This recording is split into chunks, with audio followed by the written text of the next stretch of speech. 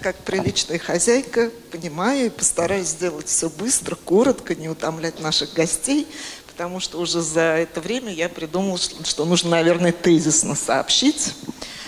А, и, ну, для начала я хотела бы, чтобы мое э, выступление вселяло оптимизм во всех нас, поскольку э, э, оно основывается на работе нашей кафедры, которая работает с молодежью. И за это время мы убедились, что у нас хорошее будущее, мы растим хороших исследователей, которые способны выполнять очень серьезные работы – а, а поскольку мы стараемся их обучать в режиме э, близком к э, настоящему реставрационному проектированию, а, то это действительно вселяет оптимизм. И вот здесь вы увидите тоже студенческие работы, но исследовательские студенческие работы. Куда дальше? Значит, э, и еще по поводу оптимизма, чтобы не было проблем, я решила, что все-таки правильнее, наверное, говорить вопросы. Потому что когда вопросы задаются, если быстрее находятся какие-то ответы. Значит, следующий момент по поводу архитектурного наследия советского периода. Это тоже очень актуальная тема, поскольку советский период еще не столь изучен и не столь э, включен вот этот перечень объектов культурного наследия, Значит, а он действительно э, очень интересен и требует каких-то дополнительных усилий для изучения. А, ну и далее, когда мы перейдем к Адмиралтейской слободе, то я и объясню еще и почему. Значит, по поводу Адмиралтейской слободы, э, если кто-то участвовал, э, значит, в экскурсиях, то это очень интересная территория нашего города, которая, ну, привлекает внимание э, не, не настолько давно, и идет очень длительное обсуждение этой территории. А вот в связи с тем, что Казань признана историческим поселением, этот интерес он усиливается, и э, для решения приняты, ну, предпринимаются огромные усилия. И здесь вот мне хотелось бы отметить усилия именно общественности э, города, значит, которые играют огромную роль, они привлекают внимание. И вообще э, получается, что профессиональный интерес ко многим объектам э, истори- культурного наследия возникает именно после э, того, как общественность нам укажет на э, какой-то объект. И это нормально. Э, вот здесь вот мы видим, э, значит, историко-культурный опорный план города Казани э, из последних документов. И мне хотелось бы вот следующим, например, кадром показать, что понятно, это огромная работа, которая вышла в реальность. А вот когда мы переходим на следующий уровень, к объекту, то оказывается, что работает принцип не только от общего к частному, но и от, какой-то, э, от какого-то частного элемента э, к общим проблемам, вопросам и задачам, которые нужно решать. А, и в этом плане вот работа, которая проводится студентами, э, очень показательна. Вот когда мы начинаем изучать уже от объекта, который, как вот сказал Александр Сеевич, может стать маркером для судьбы большого района – а, или может стать э, какой-то отправной точкой для э, формирования ну, локальных территориальных объектов культурного наследия, территориальных, таких как достопримечательные места, то работа студентов оказывается очень интересной и дополняет, и раскрывает новые и новые э, горизонты. Это вот работа Садык Диляра, которая здесь у нас присутствует, я ее увидела, значит. А, и Э, эту работу она выполняла для того, чтобы разобраться с объектом дипломного проектирования, который, собственно, у нас здесь и рассматривается. Это здание пожарной каланчи. А это вот работа э, следующей студентки, которая выбрала э, другой объект, э, территорию завода «Сантехприбор», тоже историческая территория. И начиная исследовать более локальную какую-то э, территорию, мы выявляем новые объекты, э, исторические, которые явно требуют повышения своего статуса. И эту работу необходимо проводить. И у нас, кстати, есть такой э, раздел, который вот Фарида Мухаммедовна очень, э, э, как-то последовательно, что ли, осуществляет и реализует эту задачу, когда мы э, выполняем работу близкую э, к материалам экспертной оценки для повышения статуса памятника. То есть раздел дипломного проектирования охраны памятника, памятников. Ну и для примера, э, вот здание пожарной каланчи на улице Маломосковской э, в Кировском районе. Хотелось бы сказать, что э, оно там практически уникальное в силу своего функционального назначения. Но застройка по району тоже очень интересная, и она очень разноплановая. Но, тем не менее, вот есть такие разного периода советского постройки. Это и 30-е годы, есть и 40-е годы, Значит, ну, до 60-х э, годов советского периода профессиональный интерес пока не, до, дозрел, но надо предвидеть это. И вот я в качестве одного из предложений, я не знаю, может быть, э, как-то специальные программы, которые должны уже формулировать и опережать э, интерес, ну, такой общий культур, ну, не, ну, общий интерес, а профессиональный интерес именно к застройке советского периода. А, потому что, ну, действительно, время бежит очень быстро, но также быстро и оказываются именно эти постройки самыми уязвимыми а, для современного момента, поскольку они, во-первых, эксплуатируются и все время требуют плановый ремонт какой-то. Второе, они, э, часть из этих объектов вообще утратили свою Э, ну, необходимость такой типологии. Вот, например, наш э, следующий объект, о котором я буду говорить, это пожарная каланча, которая сейчас, в принципе, не нужна уже при наличии э, технических средств, но как свидетельство, значит, архитектурное свидетельство определенной эпохи и типологии, оно очень интересное. Ну и в силу ряда других причин. Вот такие э, застройка, которую мы здесь видим, Э, своеобразная э, и жилая застройка.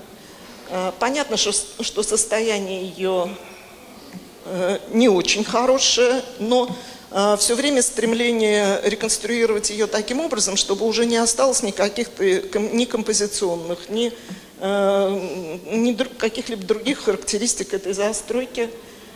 Угроза очень большая. Вот приблизительно в таком состоянии находится застройка этого райончика, который э, мы вам показали. Значит, это центральная улица э, Адмиралтейской Слободы, и здесь вот видно, что э, идет соседство сооружений и конца, начала 20 века, и середины 20 века. Э, и все это очень интересно, но и одновременно это чаще всего и в лучшем случае – вот эти ценные, градостро... Э, ценные градоформирующие объекты, которые получили э, вот этот статус в связи с тем, что Казань была признана э, историческим поселением. Кстати, я посчитала, значит, что из 391 сейчас, да, ой, извиняюсь, 431 включенных в перечень зданий по приказу вот, о утверждении границ – 99 а, зданий – это советского периода. То есть это одна четверть. А если мы посмотрим еще на, разно, э, ну, на типологию этих зданий, э, то наиболее слабо представлены здания именно промышленного э, назначения. И это тоже проблема, которая тоже, ну вот я не знаю, надо писать или нет, что не только советского периода, но и советского индустриального периода строительства – мне кажется, это интересно было бы обращаться, например, к органам охраны о создании каких-то специальных программ, а, ну и привлечении научного потенциала в виде значит, вузов и так далее. Теперь по поводу каланчи. А, вот еще, э, опять же, сложности, которые по этому э, периоду памятников встречаются. Э, очень сложно искать документацию. Во-первых, скорость изменения баланса держателей этих зданий, она такая большая за советский период и настолько ну, колеблется разные ведомства, и все время это значит, с какими-то сложностями связано. Искать документы очень сложно. А, и вот, например, такое здание уникальное э, напротив нашего здания общежития. По нему архивов пока не нашли, хотя уже несколько лет ведутся поиски. А, но зато э, имеются документы БТИ с 1975 года, уже четыре раза проводились э, инвентаризация этого здания, то есть как минимум четыре собственника поменялось, э, или ну, каких-то ведомств, которые отвечали за материальное состояние, и это тоже, э, значит, очень показательно. Значит, это вот те документы БТИ по этому общежитию, в каком виде мы его получаем. И, конечно, э, будучи общежитием, эта планировка никуда не годится для современного использования. А вот каким образом работать с ней дальше, это э, большой вопрос, ну и, в общем-то, искусство, да, приспособление. Потому что именно приспособление проблема, э, она э, ну, решает судьбу этого здания. Вот так, как говорил наш коллега из Италии, что мы можем э, новым использованием просто убить все то, что было, э, ту душу или ну, то сердце, которое было в этом сооружении. Значит, ну, по поводу Каланчи, нашей любимой Каланчи, это всегда все-таки уникальное здание, и это здание тоже по-своему уникальное. А, ну и вот для того, чтобы выйти на характеристики его уникальности, была проделана огромная работа Диляры, а, которая изучила пожарное дело в России, и надо сказать, что это с 1400 какого-то года, потом, перейдя на советский период, мы выяснили, и тоже я попробовала подсчитать, как минимум 16 изменений ведомств, которые занимались пожарным а, делом. Но так или иначе, а, к нашему времени это стало подразделением МЧС. И, в общем-то, благодаря общественности в 2016 году был остановлен снос этого здания – законсервированы э, значит, оставшиеся части, и до сих пор решается вопрос о его э, реставрации, реконструкции или приспособлении. Ну и здесь в ходе работы над этим проектом, ну и немножко здесь вот идет информация по тому, как этот проект подается, английский язык, потому что Диляра еще сдавала экзамен в аспирантуру на английском языке. Значит, по поводу архивов. Э, вот видите, как минимум, значит, э, четыре огромных фонда, которые нужно перелопатить, чтобы найти какую-то документацию по этому периоду. Э, очень большие интересные вопросы соответствия постройки, проектного решения и постройки. Большие расхождения, которые уже не фиксируются в документах. Ну и дальше уже идет проектное предложение по, э, собственно, э, приспособлению, что тоже чаще всего и лучше всего, и интересное самое предложение по приспособлению можно услышать от студентов. В нашем случае это вот такой вот центр э, изучения, ну как это, робототехники и чего-то там еще, значит, современного очень. Это проекция предложения – Значит, э, ну, вообще такой уникальный тип зданий э, известен из истории архитектуры очень хорошо. Очень интересные есть документы. Ну, а проблема приспособления этого здания под современные нужды, она остается, в общем-то, не только для Казани, но и для многих других э, городов. И вот эта картиночка очень показательная. И в довершении, вот я хотела все-таки озвучить, я не знаю, казанских практически не осталось, значит, у нас вот тоже а, в связи вот с этим документом, приказом, значит, э, в перечень объектов ЦГФО вышел вот один объект, который называется, а, значит, пожарная часть меховой фабрики.